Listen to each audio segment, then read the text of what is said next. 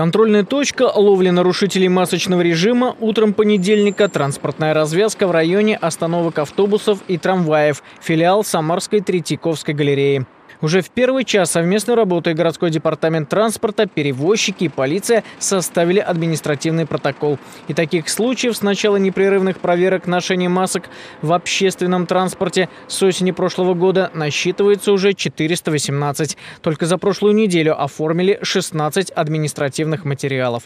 Городские власти напоминают, коронавирусная инфекция – болезнь номер один в нашем обществе до сих пор, поэтому санитарные меры не прекращают действовать, в их числе защита органов дыхания, а также вакцинация. Угрозу распространения новой коронавирусной инфекции никто не отменял. Требования о масочном режиме в общественном транспорте сохраняется, поэтому работа наша по контролю за выполнением этого требования, она продолжается и идет в том же режиме. Ежедневно и в утренние, и в вечерние, и в межпиковое время а, с охватом всех видов транспорта. Мы ведем статистику, которая учитывает количество людей, а, у кого в крови обнаружены антитела. Это могут быть как переболевшие сотрудники, так и перенесшие бессимптомно а, инфекцию, а также число привитых. И у нас Статистика это варьируется от 20 до 40 процентов по различным предприятиям. Департамент транспорта, в котором уже около 80 процентов имеют антитела к коронавирусу,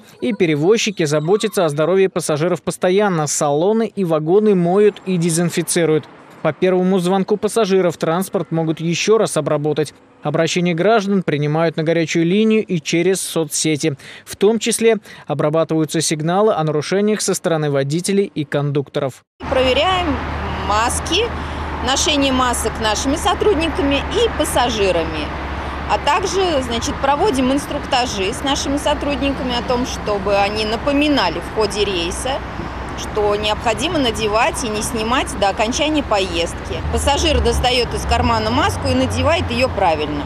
Те, кто принципиально идет на конфликт, тогда мы вызываем сотрудников полиции, они уже урегулируют этот конфликт самостоятельно. Большинство самарцев к масочному режиму в транспорте привыкли и считают пока эту меру крайне необходимой. Личная безопасность, может быть, чтобы, ну, все-таки мало ли, может, человек заболел, так хотя бы все здоровыми будут ходить. У нас ситуация как бы с коронавирусом, она никуда не девается.